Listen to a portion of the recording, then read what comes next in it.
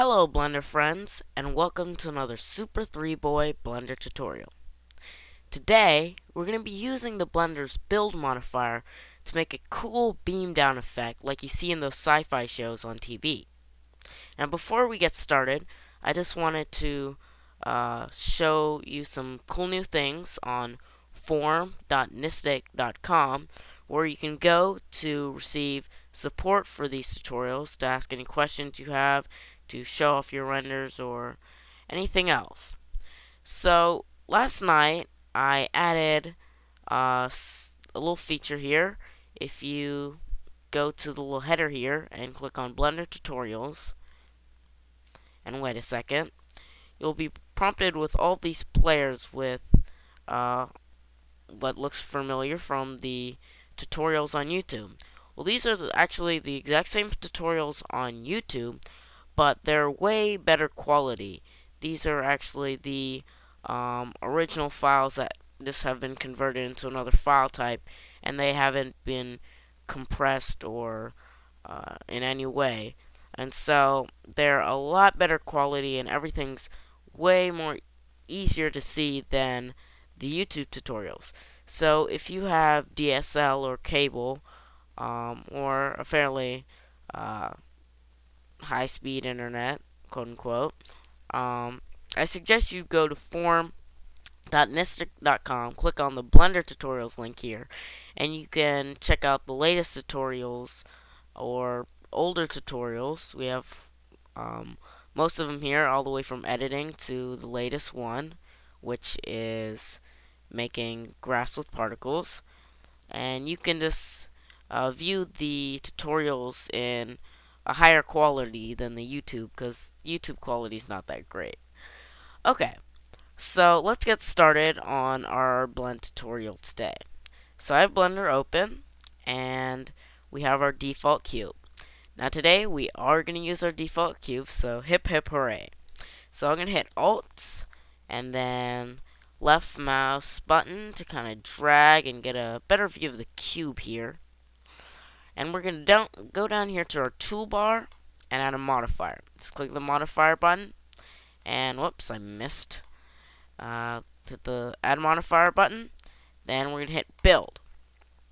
Now, as you can see, a little menu pops up with all these different options. Start, length, randomize, seed. Um, basically, if you look up here, you can see our cube has disappeared. Oh no.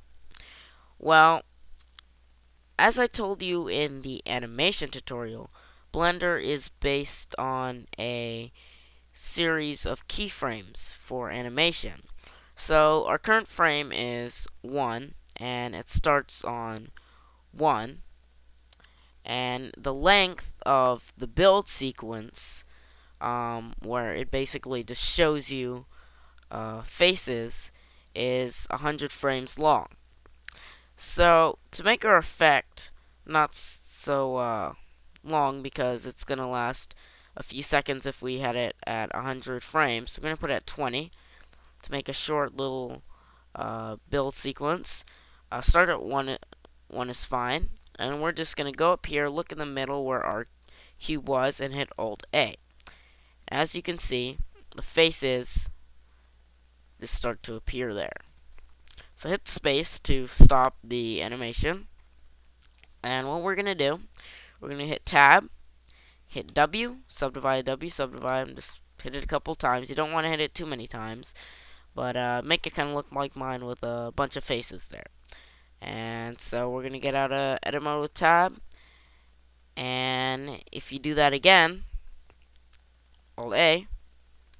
Whoops, we have to start down here at 0. I just click on that, hit 0, and it automatically goes to frame number 1. And as you can see, there's only a small portion. So if we hit A, as you can see, this kind of appears, comes back together. But that doesn't give us our desired effect of it kind of like re-atomizing or whatever you want to call that. Uh, so what we're going to do is go down to the build modifier menu and hit randomize. Now as soon as we do that, you can see where our cube is that there's random faces selected, and if we hit Alt A, it looks like it's coming back together. Hit Escape, Alt A. This looks like our cube is coming back together. And so you can play with this. You don't have to limit to, um, the build modifier to just a cube. You can make a character. And if you're making an animation, you could use this build effect to look like he's being beamed down to the planet surface or something like that. Um, you can, the more faces you add with the subdivide, the better the effect looks but you don't want to hit subdivide too many times because Blender will crash if you have too many subdivides. So you have to be careful with that. So this is just a fun little uh, modifier in Blender, and I hope you uh, just play around with it. Maybe use it in an animation you might make, and just have fun with it. So don't forget to go to forum.nystic.com for support. A lot of people are messaging me on Nystic and on YouTube for help with their uh, projects. I really don't have time to be helping everyone with their uh, Blender projects. So just go to forum.nystic.com and people will be happy to help you there. And also, one more thing, I'm releasing a Blender DVD on making a character in Blender. And it's going to be two to three hours, 20 bucks, and it's going to be released in, in one or two months. And it's going to be really fun. So if you're interested in that, just send me a message. That's uh, one thing you can send me a message about um, if you're interested in the DVD. So, okay, I'll see you guys in the next tutorial. And this is Super 3 Boy signing out. Bye.